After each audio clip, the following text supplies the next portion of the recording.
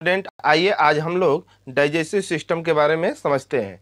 चलिए, यदि हम लोग समझेंगे यहाँ पर डाइजेस्टिव सिस्टम के बारे में तो आप लोग जानते होंगे पहले से कि डाइजेस्टिव सिस्टम जो होता है, पाचन तंत्र जो होता है, उसे हम एक हमारा संपूर्ण ढांचा जो मानव शरीर में कैसे मान लेते हैं कि भोजन हम लोग करते हैं और कैसे हमारे शरीर में पाचन की क्रिया पूर्ण होती है, यही हम लोग क्या करते हैं कि पाचन तंत्र के अंतर्गत हम लोग स्टडी या अध्ययन करते हैं।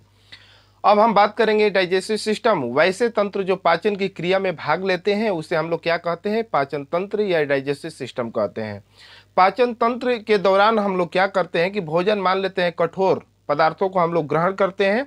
हमारे शरीर क्या करते हैं कि देखते हैं आप लोग कि छोटे छोटे पदार्थों में तोड़ करके ये पूर्ण रूप से पाचन की क्रिया को संपन्न कराती है। अब ये कौन कौन से इसमें भाग लेते हैं? आइए हम लोग समझते हैं। अब यहाँ पर देखेंगे हमारा देखिए मानव रूप का यही ढांचा है। अब यहाँ से मान लेते हैं कि कोई मनुष्य या मानव ये भोजन को ग्रहण करता है। और ग्रहण करते हुए यही जो है आहार नाल जिसको इंग्लिश में एलिमेंट्री कैनल भी बोलते हैं आ इसे वक्कल कैविटी कहा जाता है। देखिए वक्कल का मतलब होता है कि मुख। और जहाँ खाली स्थान होता है उसे कैविटी कहा जाता है क्योंकि उसे हिंदी में हम लोग मुख गुहा के नाम से जानते हैं। अब ये जो होता है, अब यहाँ पर देखेंगे भोजन इसी रास्ते से, अब यहाँ से हम ग्रहण किए। अब ये इसी रास्ते से आएगा, ये हमारा जो है, ये आमाशय या पेट है। पेट को कई नामों से जाना जाता है। इंग्लिश मीडियम वाले इसे क्या कहते हैं? अब इसे स्टमक के नाम से जानते हैं। लेकिन अब इसे हिंदी में हम कई तरह से जानते हैं। अब देखिए, एक आध लोग कहते हैं कि पेट एक व्यक्ति कहते हैं उदर और साइंस कहती है इसे अमाशय। अब यहाँ पर देखेंगे कि जो अमाशय होता है, इसका पार्ट जो होता है थ्री पार्ट में डिवाइड कर देते हैं। अब ये देखिए, इस पार्ट को हम लोग कार्डिएट कहा जाता है। कार्डियक अब ये जो होता है, ये फंडिक होता है, और ये पाइलोरिक होता है। ये फंडिक होता है।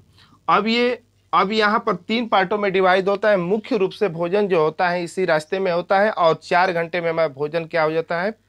पाचन की क्रिया संपन्न हो जाती है।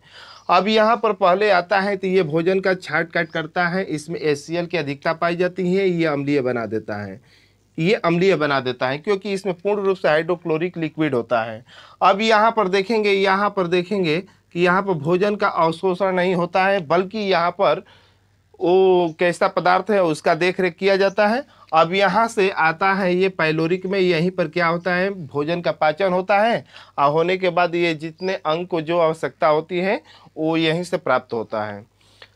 तो आप लोग जानते होंगे, इसे हम लोग क्या कहते हैं? लार्ज इंटेस्टाइन कहा जाता है, क्योंकि इसे बड़ी आत कहते हैं आई स्मॉल इंटेस्टाइन होता है, जिसे हम लोग छोटी आत कहते हैं। अब देखिए, ये बड़ी आंत में जल का अवशोषण होता है। इसीलिए कहा जाता है कि भोजन करने के तुरंत बाद पानी को ग्रहण नहीं करना चाहिए, क्योंकि अपच अपच हो जाती है। लेकिन 15 या 20 मिनट के बाद जल को पीना चाहिए, ग्रहण करना चाहिए। अब ये छोटी आंत जो है, इसी में भोजन जो होता है, स्थिर आता है। अब यहाँ से देखिए, यहाँ से लेकर के यहाँ तक, लगभग मानव शरीर में बत्तीस फीट होती हैं।